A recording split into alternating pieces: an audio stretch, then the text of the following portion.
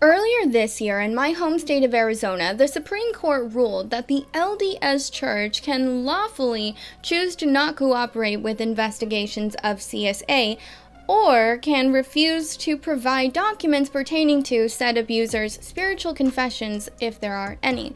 So essentially, what this ruling does is strengthen the clergy penance privilege, which we know as ex Jehovah's Witnesses that that is a major hurdle when it comes to holding these major corporate religions responsible for the part that they play in perpetuating the abuse of children. But what you may not know is that this decision actually came as a consequence of a horrible crime in a happy little town. Can, can I get your name and where you're from, if you if you don't mind? I'm Kai. Kai, can I get spelling for you? buddy? Straight out of Dogtown, K-A-I.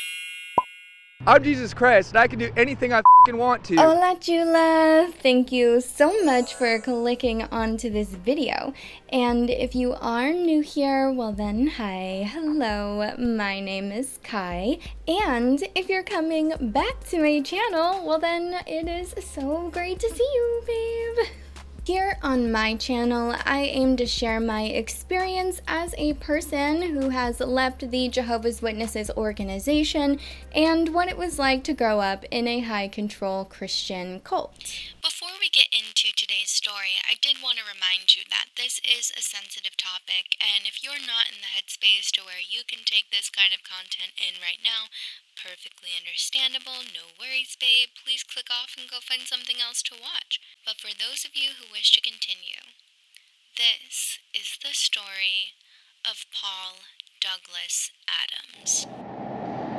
clear to me this is compulsion had a had a hold of me and again i'm not, I'm not trying to sh- shift blame i'm not trying to say oh i couldn't control myself but i, I do have a problem Yeah. and, and i'm not trying to say you know that made me do it no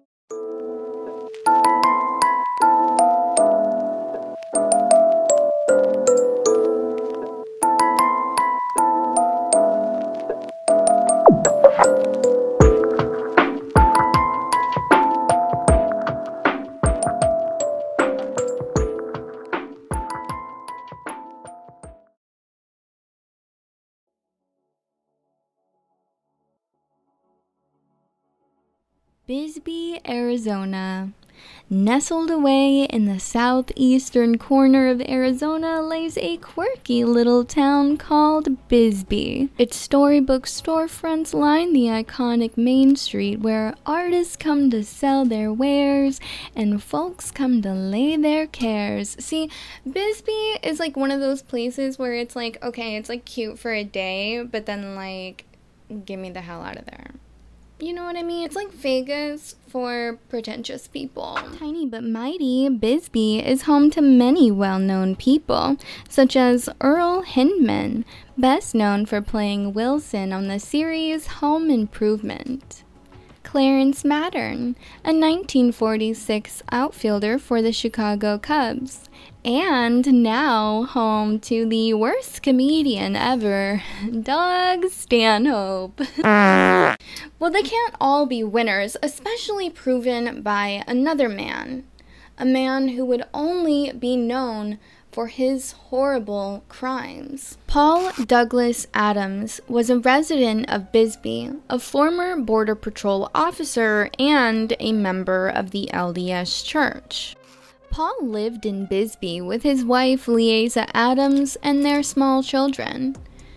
He must have enjoyed his seemingly charmed life, which is what makes what happened to him in 2017 all the better. At this point in the story, we actually have to travel all the way across the globe to a country called New Zealand. So, the year prior, the New Zealand authorities were made aware of this graphic and disgusting video making its rounds in the communities known for purchasing CP. This sparked an investigation trying to find the girl in this video and bring whoever was doing this to her to justice. And it even became an international event that led the authorities right to the doorstep of none other than Paul and Leizza Adams. And the happy little town of Bisbee, Arizona would soon uncover a dark and twisted secret held behind closed doors.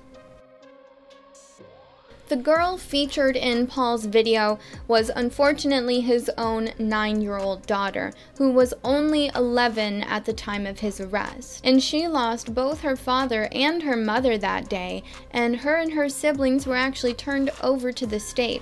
Eventually, they were adopted, and I just hope that they are so much happier with their new families. Once Paul was taken in, he sang like a bird. He confessed to posting the video, of course, to the act itself, but he shared a lot more with the authorities, a lot other details that I uh, simply do not feel comfortable sharing, but let's just say that there was no such thing as too young to Paul Adams. Before he could be taken to trial and his victims could see justice served, he actually decided to end his own life. And I have no feelings about that at all.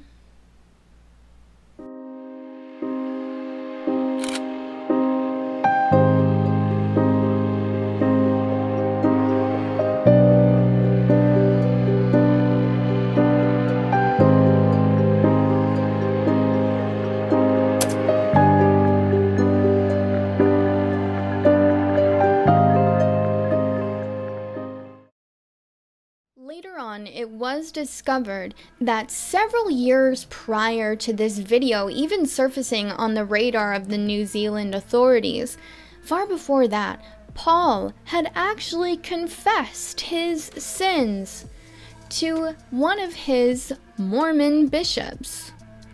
And this bishop had no reason to report the abuse because he was not a mandated reporter. So, just like the Watchtower Bible and Tract Society, the Church of Jesus Christ of Latter day Saints functions more like a business than they do a church because they are a corporate Christian cult.